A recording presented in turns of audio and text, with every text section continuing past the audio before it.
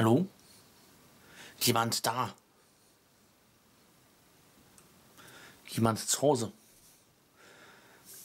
Am 24. September ist in Deutschland Bundestagswahl und zu diesem Anlass habe ich mir gedacht, machen wir mal ein gigantisches React-to-Video. Ich reagiere heute auf ganze sieben Videos, genau gesagt auf sieben Wahlvideos, Wahlwerbespots von sieben Parteien, die sich am 24. September 2017 zur Bundestagswahl stellen. Ja,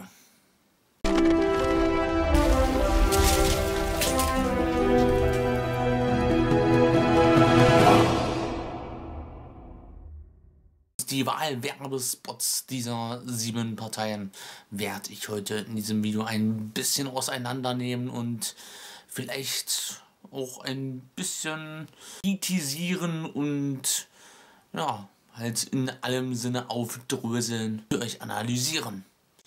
Ich würde mal sagen, geht's direkt mal los mit dem ersten Werbespot. Der erste Werbespot ist von der CDU, die Christlich-Demokratische Union. Angela Merkel spricht darin zum Volk, kann man so sagen, präsentieren in Deutschland als ein gutes, gesundes und heiles Deutschland. Deutschland geht es gut, sagt sie, Deutschland geht es sehr gut.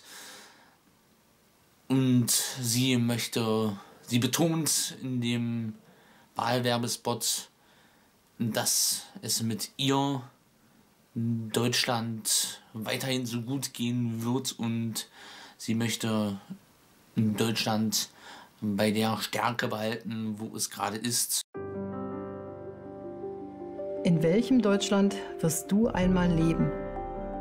Wird es das Deutschland sein, das uns am Herzen liegt? Ein Land der Bildung, in dem jeder etwas aus seinem Leben machen kann? Ein Deutschland der Chancen, in dem mehr Menschen Arbeit haben als je zuvor? Ein Land, das sich nicht auf seinen Erfolgen ausruht, sondern immer neue Lösungen für die Zukunft findet? Es liegt in unserer Hand. Wir können uns für dieses Deutschland entscheiden. Für ein Land, das schon heute dafür sorgt, dass es auch morgen gute Arbeit gibt. Das Menschen im Alter und bei Krankheit nicht alleine lässt. Für ein Land, in dem wir gemeinsam gegen Hass und Neid eintreten ein Land des Zusammenhalts, das seine europäischen Werte entschlossen verteidigt. Wir können uns für eine Politik entscheiden, die Familien respektiert und unterstützt. Für eine Wirtschaft, die für alle Wohlstand schafft. Für eine Heimat, in der sich jeder Einzelne frei und sicher fühlen kann.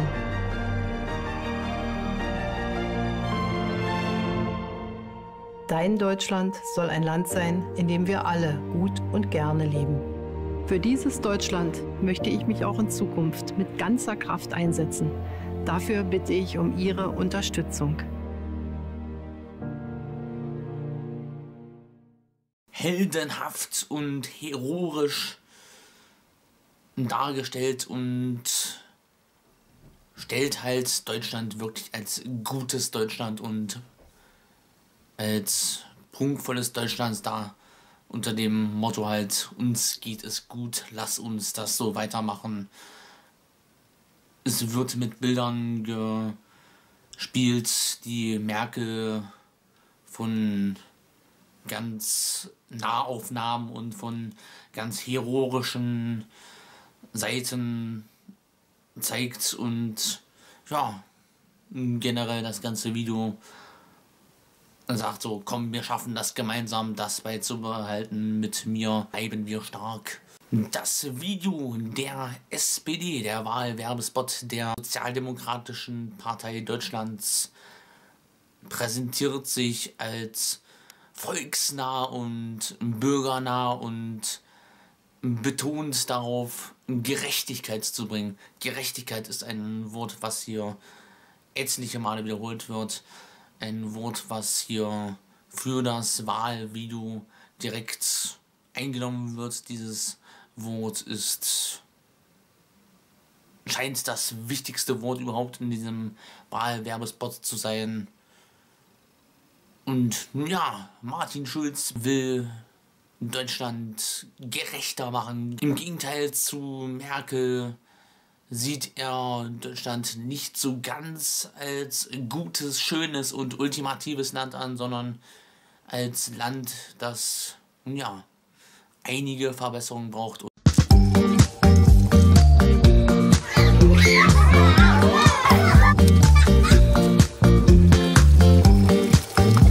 Manche behaupten ja, Gerechtigkeit sei heute kein Thema mehr.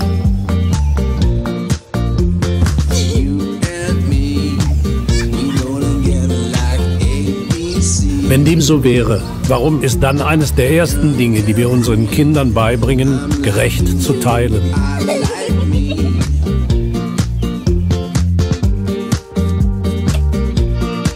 Und dass die Starken den Schwachen helfen sollen.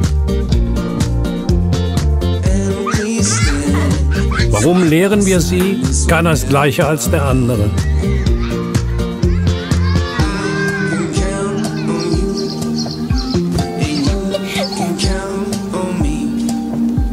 Warum sagen wir ihnen, alles ist möglich, egal ob Mädchen oder Junge,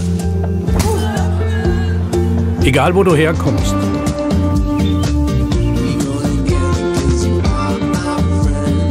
Warum bestärken wir unsere Kinder in dem Glauben, dass sie diese Welt besser machen können? Gerechtigkeit wird immer ein Thema sein. Denn nur eine gerechte Gesellschaft hat eine Zukunft.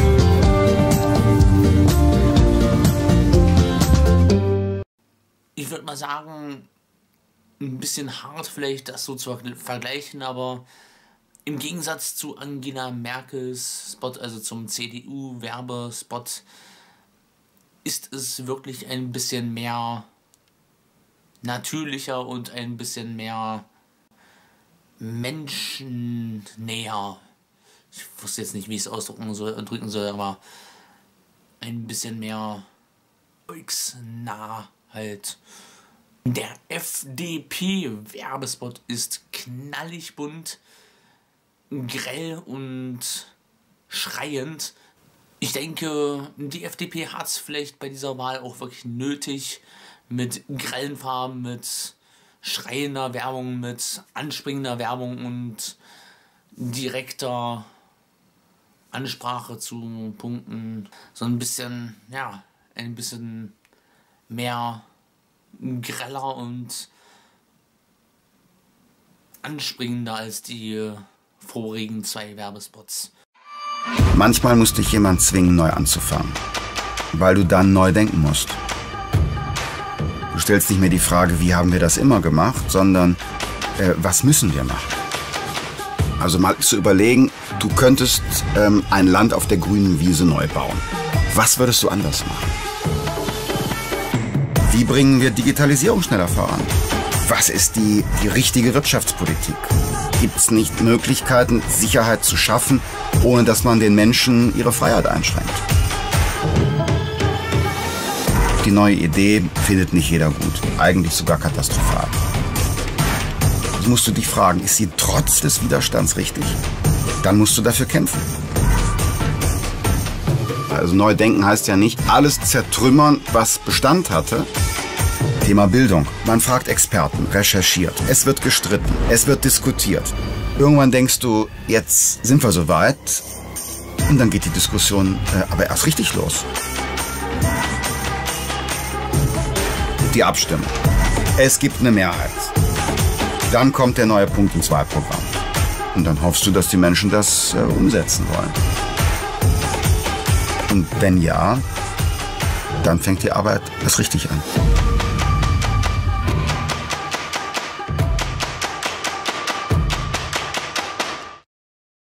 Spitzenkandidat der FDP wirbt damit, alles neu zu machen und alles umzuwerfen. Naja, nicht alles umzuwerfen, aber neue Sachen halt auf einer grünen Wiese ein neues Land zu erbauen und neu anzufangen, einen neuen Start zu errichten und halt von vorne zu beginnen sozusagen und revolutionär Neues zu schaffen aus dem Boden und mit neuer Kraft die Welt anzugehen.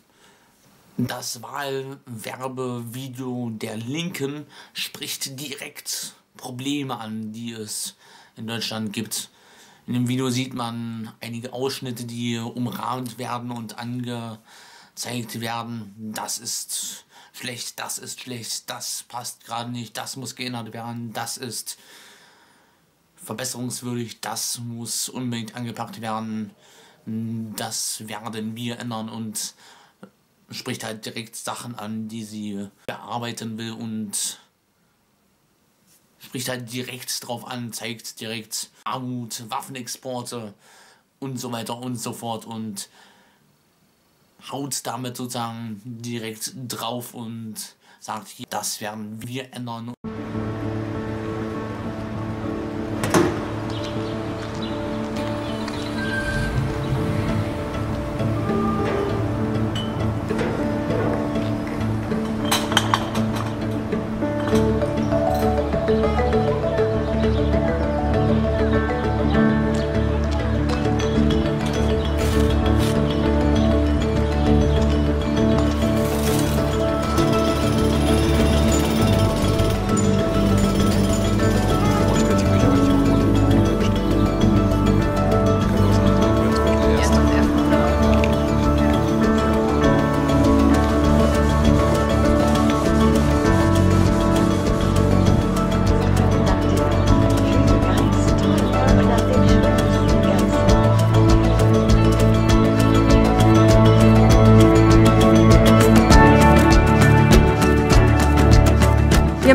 Was wir versprechen.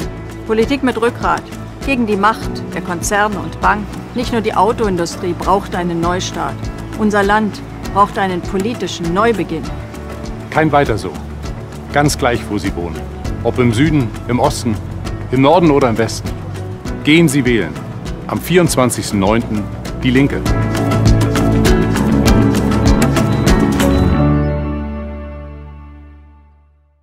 Wahlwerbespot der Grünen präsentiert zuerst mal eine Frage.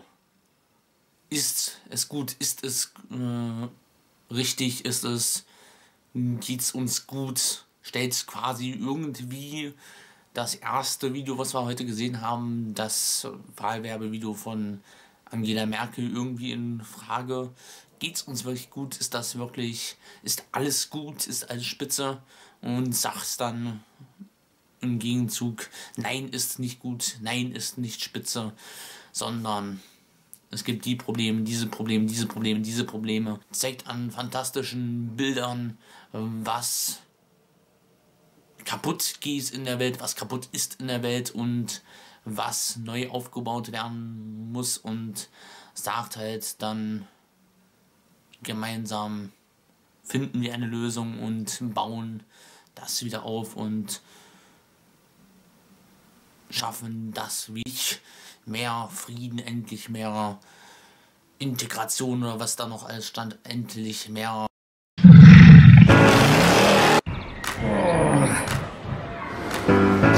Wirtschaft gut. Arbeit gut. Alles gut? Nö. Es gibt viel zu tun.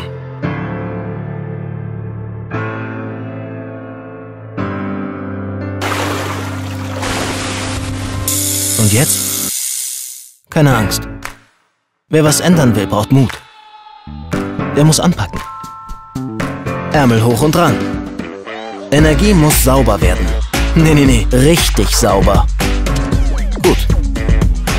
Gut. Sehr gut. Okay, was noch? Ja, Integration. Gleiche Chancen für alle. Was noch? Gebt endlich Frieden. Ah, schön. Gemeinsam läuft's rund. Und was noch? Genau, unsere Umwelt. Abgase runter. Temperatur runter. Mundwinkel rauf. Also, Ärmel hoch und ran.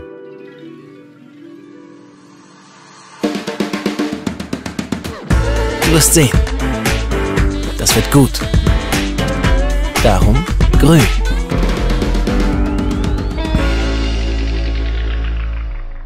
Und ran die Devise von dem Wahlwerbespot der Grünen. Ja. Der AfD, der Alternativen für Deutschland, wirbt mit einem zerbrochenen, mit einem falschen und schlechten Deutschland. Es ist schlecht in Deutschland, grundauf schlecht. Alles ist den Bach untergebracht. Wir müssen uns unser Deutschland zurückholen, zurückholen. Genauso wirbt die AfD. Die ich habe mich einiges in meinem Leben getraut. Meinen Job an den Nagel gehängt, um Politik zu machen. Für die AfD. Ausgerechnet für die. Besorgte Bürger, Patrioten und junge Wilde. Wirklich nicht leicht, hier einen Nenner zu finden. Warum machst du dir überhaupt so viele Gedanken um Deutschland? Ich war 40 Jahre in der CDU. Die illegale Öffnung der Grenzen, da war mir klar, hier läuft etwas schief. Wenn wir uns jetzt nicht trauen zu sagen, das ist unser Land, wir bestimmen hier, dann wird Deutschland von der Landkarte verschwinden, nicht wahr, Frau Weidel? Ich sage lieber, das rechnet sich nicht. Kein Land der Welt kann jährlich Hunderttausende Zuwanderer alimentieren. Entweder hat Frau Merkel einen Goldesel oder sie veruntreut deutsches Steuergeld. Eins von beiden. Frau Merkel hat keinen Goldesel, doch einen Plan. Deshalb hält sie auch ihre Europa-Agenda geheim. Ich wette mit Ihnen, dass es nach der Wahl einen Schuldenschnitt Griechenlands gibt. Zu Lasten der deutschen Bürger. Nicht mit der AfD. Die Deutschen brauchen eine Partei, die endlich wieder ihre Interessen vertritt. Deutsche Interessen. Nicht rechts, sondern rechtens und größer als 15 Prozent. Die Mutbürger sind jetzt gefragt. Holen Sie sich am 24. September Ihr Land wieder zurück. Trau dich, Deutschland. AfD. Die Musik im Hintergrund schon sofort erkennbar. Schürt auch so ein bisschen die Stimmung, ja, ein bisschen bedrohlich und ein bisschen angsterfüllend. Deutschland geht bergab und Sachen werden veruntreut, die was schief. Es geht so nicht mehr weiter und es muss mit uns etwas gebaut werden. Es muss daran etwas sich ändern und Deutschland neu aufbauen. Deutschland zurückholen, genau, zurückbauen. Deutschland zurückholen und ja, allein schon das Wort zurückholen am Ende hat eine wegweisende, eine wegweisende Werbespot und ja, ich würde sagen, es schürt auch so ein bisschen Angst und spricht aber auch das Volk direkt an, spricht die Leute direkt an, die Patrioten, die Mutbürger, die was weiß ich noch und so weiter und so fort. Spricht direkt an, du kannst mit deiner Wahl für uns dein Land zurückholen. Zurückholen, nicht aufbauen oder gestalten, zurückholen. Das setzt, das setzt voraus, dass schon etwas weg ist. Ja.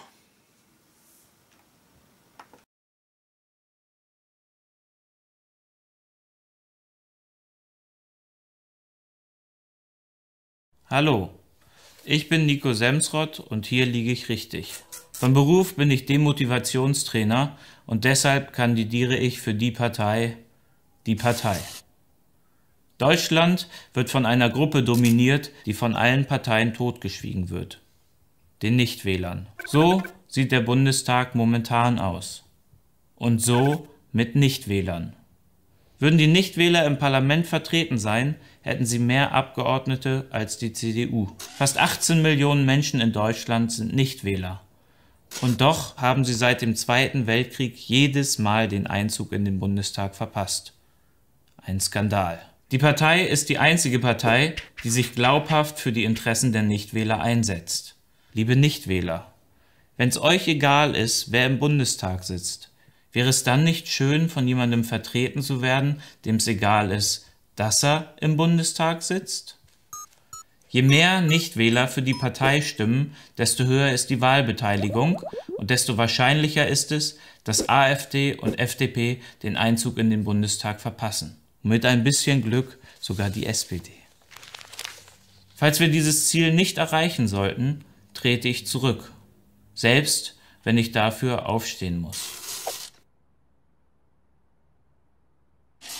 Ich hatte auch überlegt, noch eine Bewegung zu gründen, aber ich bin gegen Bewegung. Das waren jetzt die äh, Wahlwerbespots von den sieben Parteien, die ich zusammengetragen habe. Es sind nur sieben von 42. Das heißt, es gibt noch, ich kann nicht zählen, Parteien, die ich hier nicht vorgestellt habe, deren Videos auch hier nicht reacted wurden und auch viele Parteien, die man eventuell nicht im Auge hat, deren Wahlwerbespots vielleicht auch ganz gut sind und auch ganz achtenswert sind und eventuell auch in die Frage kämen für eine Wahl. Am 24.09. ist Bundestagswahl in Deutschland. Wer wählen darf, geht wählen. Ja. Ansonsten, weh euch, ihr geht nicht wählen. Dann komme ich bei euch zu Hause vorbei und ja, was und ja, ähm, geht wählen.